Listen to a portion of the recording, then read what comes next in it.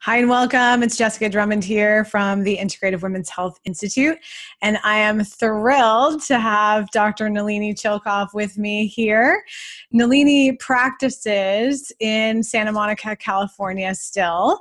And she is really one of the earliest pioneers in integrative cancer care. In fact, you know, if anyone in my family or myself was diagnosed with cancer, like the first person I would mm. call would be Dr. Chilkov. So, you know, and not only is her clinical expertise very strong, but she has lectured all over the world. In fact, we lectured once together several years ago. I think it was in London or something. Yeah, in London. Yeah all of us are really going to be impacted by cancer in some way, whether it's through our practice and patients, through our friends or family members, even ourselves. So, this is super valuable information for all of us. So, I have invited uh, Dr. Chilkov here to teach us today, and she's going to go deep into the nutrition aspects of supporting cancer care. And I'm going to let you take it away. Okay, thank you, Jessica.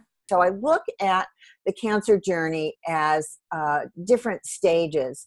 And so uh, when you're just diagnosed, that's the first trauma. That's when you have the first shock. It's very stressful, it's very overwhelming. And there are, are core needs and core questions at each point in the journey. Uh, during treatment is when a lot of patients seek care because they're starting to have adverse effects and they're starting to feel stressed and they're not quite sure how to adapt. So they come to us at that time. Some people wait till they're done with treatment because they have oncologists who are anti nutritional interventions. And so we hope that that's not most of our patients. But after treatment, we also have an incredible opportunity to really help them uh, take that moment when they're highly engaged to really change habits and change lifestyle and, and really um, learn something new. They're incredibly open. And then there's a really uh, large uh, group of patients who have successful treatment and they go on and they want to not have a recurrence. And then there's an, a large group of patients, because we're good at treating cancer today, that might live with cancer as a chronic illness. They might not be completely in rem- remission, but they'll live a long time. So, for example, breast cancer patients and colorectal cancer patients fall into that category. Mm-hmm. So, um, they, these are people that we'll be dealing with. And we have the opportunity by teaching a health model to transform their outcomes, change their trajectory of their disease and their prognosis. We can also support them in getting through their treatments and helping to manage the short term and long term adverse effects. And sometimes we're the only ones that's really dealing with the long term adverse effects. But our biggest piece is to give a health model that doesn't exist in oncology. There's not even the word health in the lexicon in an oncology clinic typically. Mm. So I look at the oncologist as the disease expert, the person who's fascinated by the tumor, but we want to be fascinated by the long term health of our patients and put that health model in from the beginning right away. So we, uh, what I say to oncologists is, you're the disease expert let me be the health expert. And then that kind of mitigates resistance in, in the conversation with an oncologist. And so we talk about the tumor microenvironment. This is like the landscape the cancer terrain. And it is this environment like the soil in a garden that transforms what grows there. So with diet and with lifestyle interventions and with phytonutrients we can transform the signaling that's going on and either uh, turn off growth signals or turn on suppressor signals and really change what's going on. And so diet's a lot, a lot about that.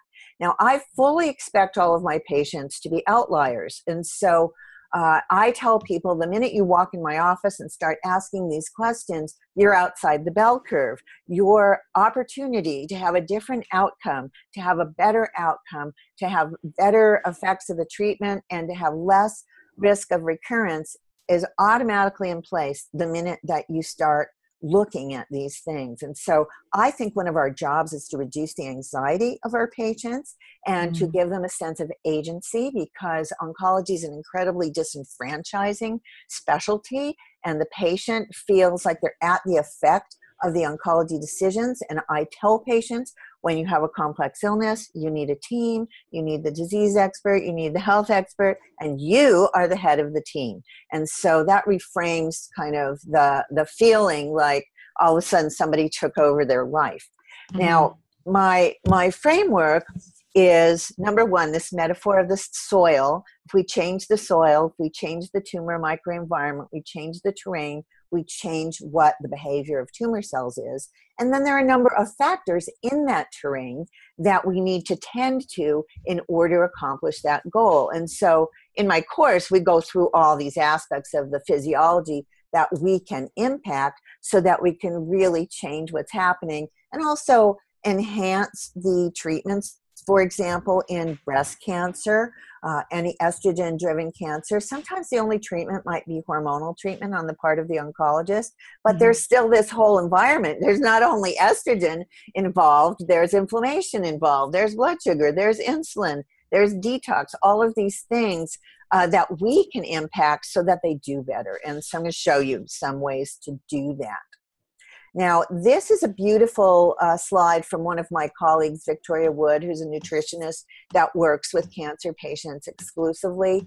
And this is a, um, a really uh, a good way to talk to patients about why it's important to tend to their nutrition because we can really change the trajectory, but also their quality of life and their stress and what happens to them during and after treatment. So sometimes I have my nutritionist kind of go over all of this so that the patient understands the value of tending to their nutrition.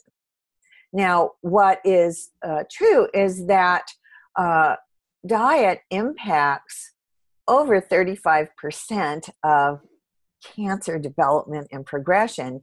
And here is a slide that shows you all the different types of tan- cancer that we have studies that we know that food and diet impact that. So it's not just the gastrointestinal cancers, it can be uh, all types of cancers that are impacted by diet. And of course, I think in our functional medicine community, we would say 100% of cancers are actually influenced by diet. Let me just jump in and ask yeah. you a quick question. Are you seeing a shift at all in the medical community? Because I, you know, I still see patients saying, you know, and they often have even bowel cancers that are like, oh, you know, my doctor said what I wouldn't matter. Are you starting to see some change there? Well, here's the thing I practice in California. Yeah. So I practice where the medical community is open, collaborative, and early adopters of new ideas, and where maybe 80% of their patients are doing something with integrative cancer care along with seeing their oncologist. So, mm. culture of medicine where I practice is uh, I think, unusual and somewhat extraordinary in that way. There are still lots of oncologists that say, oh, it doesn't matter what you eat. But what they are actually thinking is that diet can't cure cancer. Right? Mm, That's what mm-hmm. they're thinking. And we're not making a claim that says diet or herbs or nutrients cure cancer. We're saying that if we tend to healthy function, your patients will do better. Mm-hmm. So I think that's what a lot of doctors think that we're claiming that we can treat cancer with diet. And so we need to reframe that for the physician so that they understand we're not making some outrageous claim like that, but we're actually going to help them care for their patient to get a better outcome. And if you if you just say to the doctor, well, at least we can impact quality of life, then that's a terminology in cancer care that that they can grab onto and go okay you know?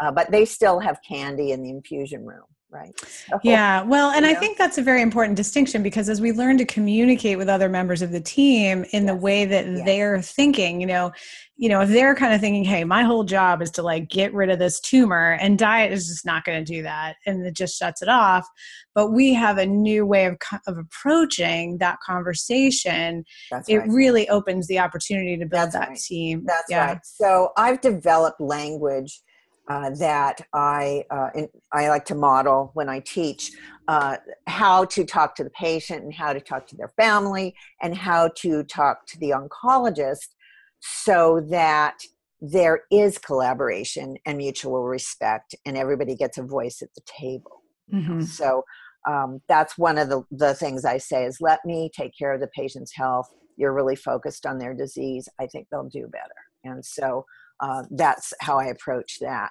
Now, we think about diet as really being an epigenetic intervention. And epigenetics means that we are acting on gene expression. We're not changing DNA, we're not changing genes themselves, but we're changing whether the switch is off or on.